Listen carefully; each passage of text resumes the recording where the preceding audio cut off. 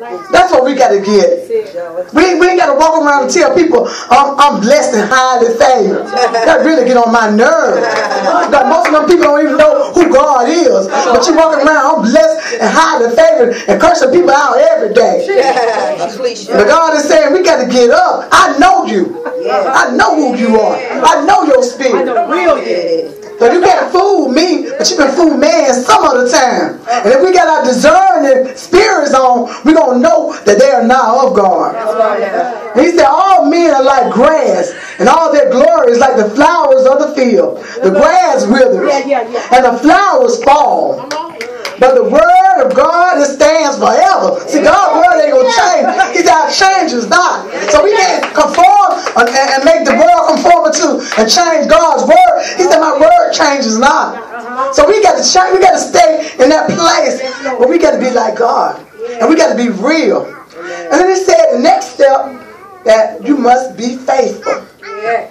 And to be faithful, faithful means to be trusted, mm. reliable, believing, trusting, and just relying, being able to somebody to rely on.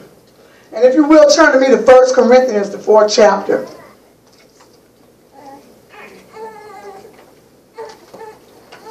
First Corinthians, the fourth chapter. God is so good, y'all. He is He is so good. It's not by chance that you all are in this place today. And you will never be the same if you just learn to trust God. You got to trust Him. We got to trust Him. I mean, really trust Him. First Corinthians 4 chapter says, So then, men ought to regard us as servants of Christ and as those entrusted with the secret things of God. Now it is required that those who have been given a trust must prove faithful. I care very little if I'm judged by you or any human court. Indeed, I did not even judge myself. My conscience is clear, but that does not make me innocent. Y'all hear that? Even though we think that we are in that place, we never arrive. You better say that. Because God always, like the pastor said this morning, it always something that He got to get up out of us. Because a lot of times we think we don't arrive and we got it going on. And I'm gonna tell you about me, because I'm gonna tell my story. I thought I had arrived with the fear of uh, being back at my mom's house and being that little girl that I went back where I had to, as a little girl, clean up all the time, and I felt like I was a maid. So I was telling my mom the other day, I feel just like a maid. Because all I do is clean up. And it took me back to that place. And I had to fall down on my knees. I had to repent. Because I hadn't conquered that thing. That thing came back to haunt me. See, a lot of times we think we have defeated some things in our life. And those things are still laying dormant.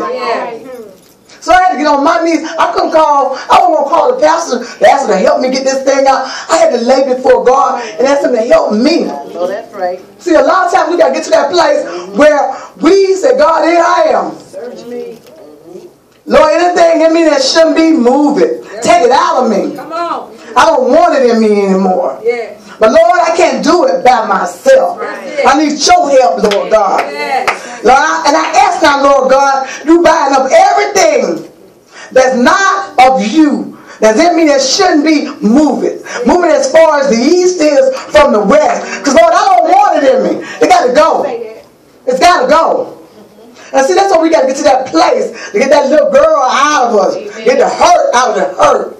And I realized that my mom can't do nothing for herself because she's got Alzheimer's. But it took me to a place where I had to learn to be, I guess, submissive or be faithful. Because I was so used to doing my thing and running, doing what I wanted to do. And now I'm stuck in a place where I can't go nowhere. Yes. I can't do what I want to do. Come on. But I have to be there for her because she was there for me. He even took me back to being a little girl. Well, when I got sick, or even as a grown up, I got sick, she was always there. Come on. See, we, we so quick to throw our parents in the nurse home and say, we don't want to be bothered. But God is saying this day, you got to be bothered. Uh-huh. Because your mama did for you when nobody else would. Thank you, Lord. And I got to thinking about that thing. One of these days, my mama not gonna be here. So I gotta do what I can do for while breath is still in her body. So I had to move my mindset and shift into a new place, a different place, uh-huh. because it wasn't about me. That's it. And even not even not about her. That's it. Because she's she's at peace with her life, but God was showing me me. See, a lot of times we we're helping somebody else in a situation, but God is saying it's you, it's you, it's you that need it. And see, we're so prideful, and we think it's not about us. But God said you was the one that needed to be here. Uh-huh. You was the one that needs to do some changes in your life, In your life. in my life. See, I couldn't tell nobody else's story, just my story. Because I was going through some things there. But I'm so thankful that we serve a God that He loves us unconditionally. And He gonna love us enough to show us our faults. Even if we don't like it. But it's good for us. And we just have to stay. That's why it's so important to stay up under that umbrella with God. And not move from it. Because I'm so thankful that He's showing me me. Uh-huh. Because He got some more work to do in me. And I'm thankful he's stretching me to that place where he said, and don't feel good. It don't look good. And sometimes it don't even sound good. And sometimes I can't even see right in front of me. But he said, I got this thing. And I just need you to trust me. And see, we got to get to that place where we have to trust God. Nobody else. Man can't do nothing for us. We have to trust God. And only God. And he said, Therefore, judge nothing before the appointed time. Wait till the Lord comes. He will bring to light what is hidden in the darkness.